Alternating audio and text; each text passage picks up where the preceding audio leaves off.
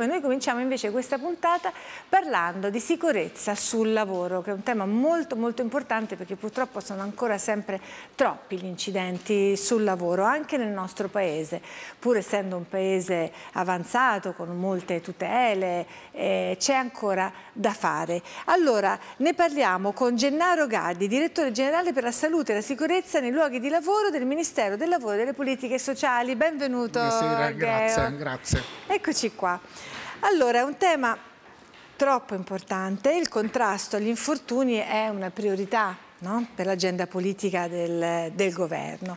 Allora, eh, intanto, eh, dottor Gaddi, qual è la situazione a oggi, no? quanti sono gli incidenti del lavoro? Sì, purtroppo il bilancio è drammatico. Eh, nel 2022 si sono registrati 1090 morti, quindi con una media quasi di 3 morti al, al giorno e ehm, nonostante ci sia stato un piccolo decremento rispetto agli anni precedenti, ad esempio rispetto al 2021 ci sono stati meno 131 morti e 180 rispetto al 2020, purtroppo la strada che dobbiamo percorrere non è ancora quella giusta evidentemente. E no, certo, comunque è Perché sì, ci allontaniamo molto da quell'obiettivo che è europeo e che è, richiamato, è, stato richiamato più volte dal Presidente della Repubblica di zero morti sul lavoro, quindi diventa molto difficile. Sono aumentati ad esempio gli incidenti in itinera nel 2022, cioè quelli eh, eh, che, vengono, eh, che, capitano durante il percorso ehm, casa-lavoro e lavoro-casa, mentre quelli in occasione di lavoro invece sono eh, diminuiti. diminuiti. Ecco. L'incremento maggiore l'hanno avuto oltre che i lavoratori purtroppo comunitari ed extracomunitari, gli under 20 e uh, la fascia d'età 25-39.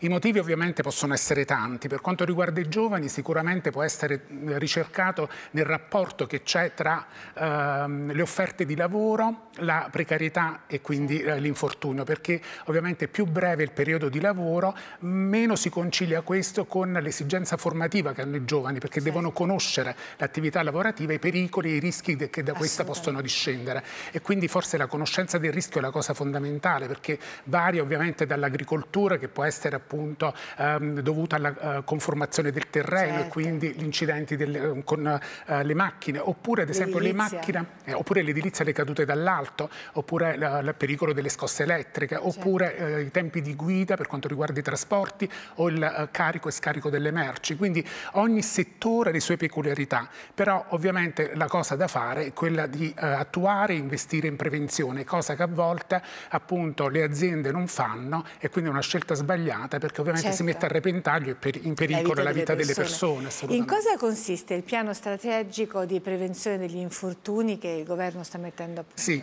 eh, sì la, ehm, il Ministro del Lavoro ehm, ha ehm, adottato l'atto di indirizzo che non è altro che un documento con cui eh, individua le priorità dell'amministrazione ed non è altro che una declinazione del programma di governo. È un programma che si fonda su controlli, sanzioni e formazione e in armonia peraltro con l'Unione Europea che ha, ehm, nel piano strategico 2021-2027 ha messo proprio al centro dell'attenzione di tutte le parti coinvolte, quindi dalle istituzioni alle parti sociali, ai datori di lavoro, ai lavoratori, eh, la prevenzione, quindi l'importanza della prevenzione attraverso tre parole chiave che sono appunto il cambiamento, mm -hmm. la prevenzione e la preparazione che sarebbe la formazione. Questo questo piano è soprattutto um, fare più controlli e questo è possibile. È fondamentale. È, fondamentale. È, possibile? è possibile perché um, appunto c'è stato un ampliamento dei poteri degli ispettori del lavoro nella salute e sicurezza che prima era limitata al settore dell'edilizia e quindi tutto il resto veniva fatto dagli ispettori delle ASL.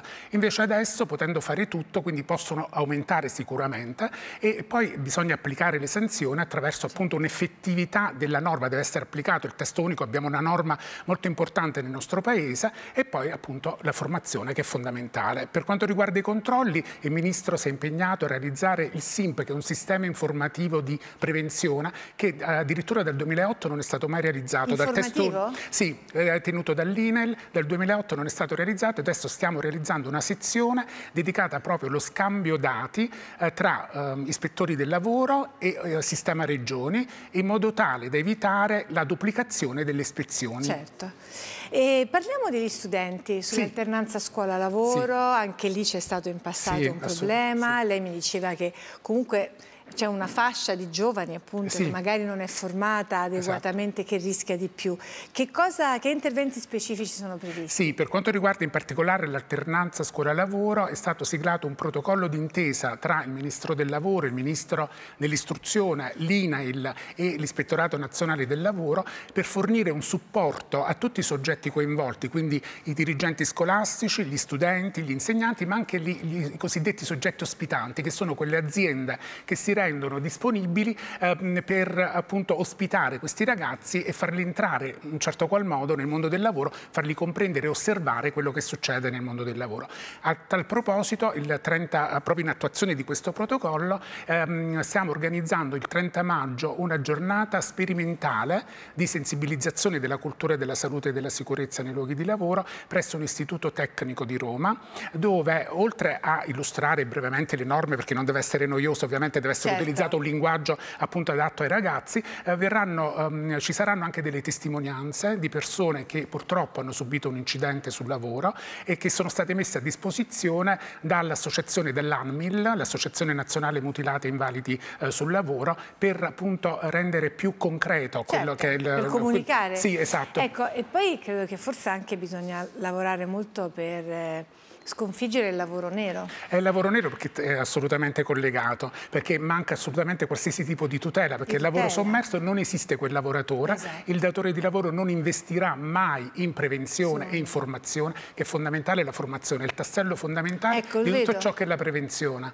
È la formazione. È la formazione, perché la formazione tende a far acquisire delle competenze al lavoratore che, che, che, successivamente sarà in grado di individuare in fondo rischi... lo rimettono al centro, no? Sì, sì, al centro, esatto. esatto. La persona. La persona, la persona deve essere certo. messa al centro assolutamente e quindi conoscendo il rischio a cui si va incontro si può anche uh, gestirlo nel momento in cui si verificano certo. e ovviamente la formazione è obbligatoria per tutti i lavoratori e dal 2021 anche per i datori di lavoro e nella scuola adesso uh, deve partire dalla scuola ovviamente la formazione, ci sono due proposte di legge che prevedono l'inserimento nella della scuola dell'insegnamento del diritto del lavoro ah. e quindi, come diceva lei, del lavoro regolare e della materia della salute e della sicurezza nei luoghi di lavoro. Bene, molto interessante. Grazie. Grazie, eh, grazie, grazie a Gennaro Gaddi, direttore generale per la salute e la sicurezza nei luoghi di lavoro del Ministero del Lavoro e delle Politiche Sociali, è stato Buonasera. un piacere.